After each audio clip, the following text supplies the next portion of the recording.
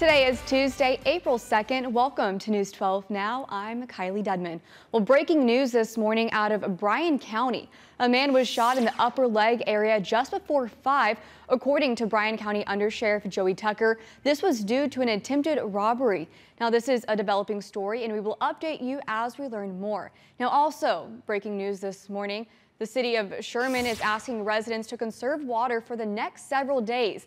The water supply from Lake Texoma will be shut down for repairs starting today because of a leak. Now we will update you when the repairs are finished. And at least one person was flown to a hospital this morning after a two vehicle wreck in Collinsville. Just take a look at these pictures here. Collinsville Fire Department says the department was called out on a collision on FM 902 just before 5 this morning. Now stay with News 12 for updates on this wreck.